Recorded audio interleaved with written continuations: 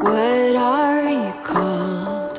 What is your natural place? What is your name? Where did you fall? Where